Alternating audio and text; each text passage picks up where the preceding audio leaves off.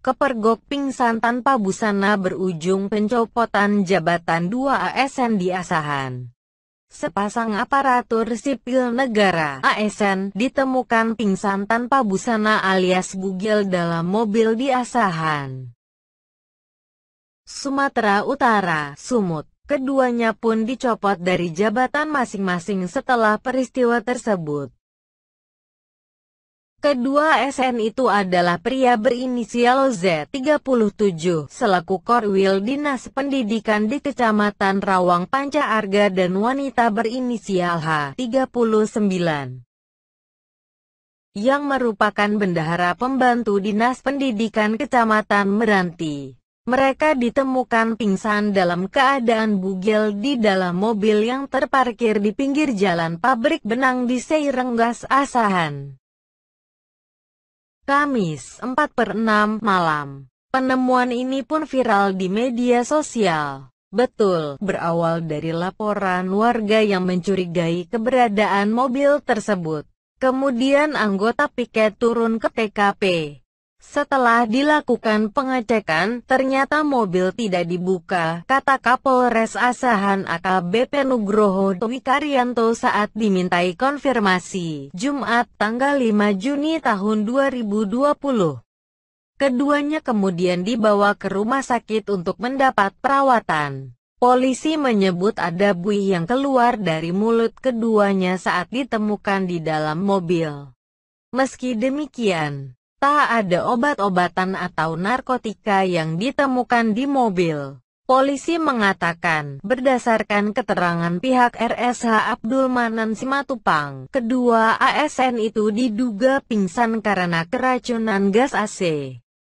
Keterangan tim medis RSUD HAMS H. Abdul Manan Simatupang, keracunan gas AC ujar Nugroho. Polisi pun telah menginterogasi ASN tersebut. Berdasarkan pengakuan ASN itu, kata polisi, mereka pingsan karena kelelahan. Pengakuannya sementara karena kelelahan dan kesulitan bernapas, kata Kasat Reskrim Polres Asahan AKP Adrian Rizky Lubis, Senin, 8 per 6. Dia mengatakan saat ini kasus tersebut masih diproses oleh pihaknya. Polisi juga mendalami ada tidaknya obat-obatan yang dikonsumsi keduanya sebelum ditemukan pingsan dengan kondisi bugil dan mulut mengeluarkan buih.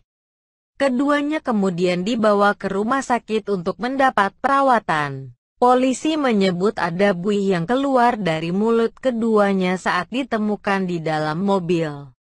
Meski demikian, Tak ada obat-obatan atau narkotika yang ditemukan di mobil. Polisi mengatakan, berdasarkan keterangan pihak RSH Abdul Manan Simatupang, kedua ASN itu diduga pingsan karena keracunan gas AC.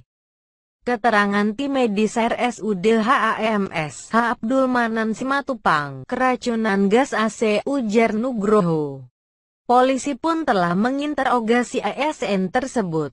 Berdasarkan pengakuan ASN itu, kata polisi, mereka pingsan karena kelelahan. Pengakuannya sementara karena kelelahan dan kesulitan bernapas, kata Kasat Reskrim Polres Asahan AKP Adrian Rizky Lubis, Senin, 8 per 6.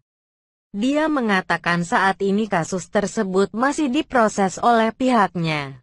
Polisi juga mendalami ada tidaknya obat-obatan yang dikonsumsi keduanya sebelum ditemukan pingsan dengan kondisi bugil dan mulut mengeluarkan buih.